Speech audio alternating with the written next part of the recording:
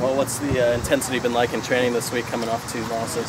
Yeah, the intensity has been very high. You know, we're definitely disappointed with the past two games, but it's nothing to dwell over. We're just moving forward from there. What's been the sort of message to the team on how to rebound from this, from the coaching staff this week? I mean, just continue to have your head down and pretty much just work hard. That's the only thing we can control, you know?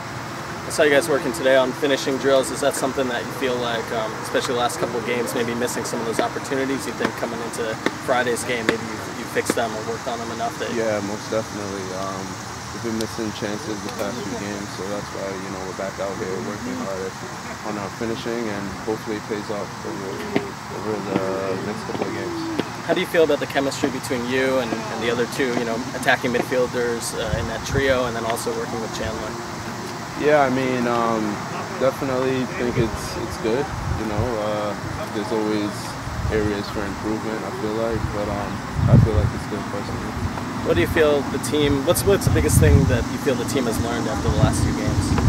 About um, that we can't control everything that happens. You know, during the game, whether it's uh, reps or anything else. The only thing we can control pretty much is our performance. And how do you feel about yourself personally? You're getting a good run in games recently. Do you feel like your confidence is back back high?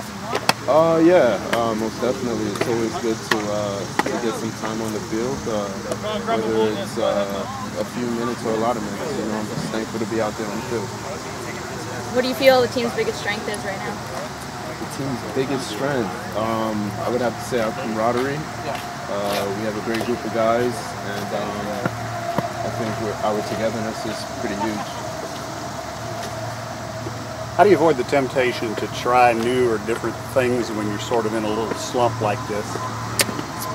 Um, I mean, there's a reason why we were in first place and we were unbeaten for such a long period of time. So that's not something that you would want to change up. You know, you just want to go back to the basics and continue to work hard on that. Was it a bit of a gut punch to look at the standings this morning and see the team in second place? Oh, no, not at all. There's still games left in the season to play. Uh, everything's up for grabs, so we're looking forward to that.